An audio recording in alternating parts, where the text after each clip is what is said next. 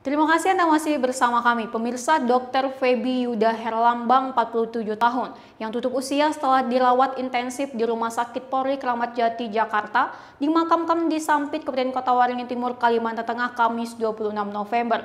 Seluruh tenaga kesehatan memberikan penghormatan terakhir atas kepergian PLT Direktur RSUD Dr. Murjani Sampit tersebut.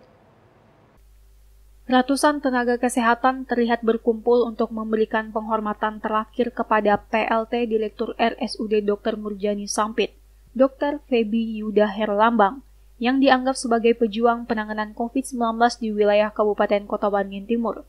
Suasana duka dan kesedihan mendalam terasa sangat kental menyelimuti upacara penghormatan terakhir.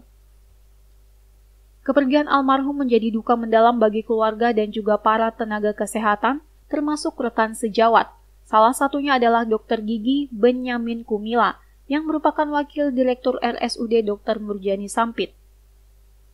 Bagi Dr. Benyamin, almarhum Dr. Yuda merupakan sosok yang sangat bijaksana serta mengayomi sebagai seorang pemimpin.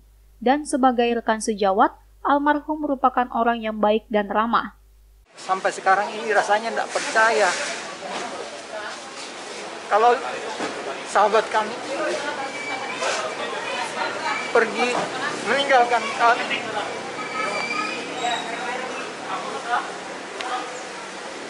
Dan kata-katanya yang terakhir beliau sampaikan waktu sebelum ke Jakarta ada pertemuan.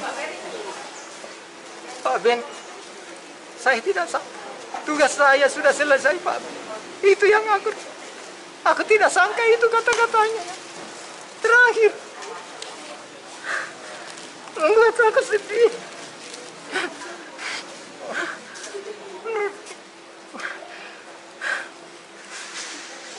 Itu yang aku tidak sangka. Kenapa beliau berkata, tugasku sudah selesai, Pak B. Itu.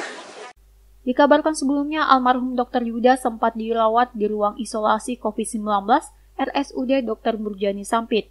Dan saat dirujuk ke RS Polri Kramat Jati, almarhum diberangkatkan menggunakan pesawat charteran dengan protokol kesehatan COVID-19. Namun berdasarkan hasil dua kali tes swab terakhir yang dilakukan RS Polri Kramat Jati, menunjukkan hasil negatif COVID-19.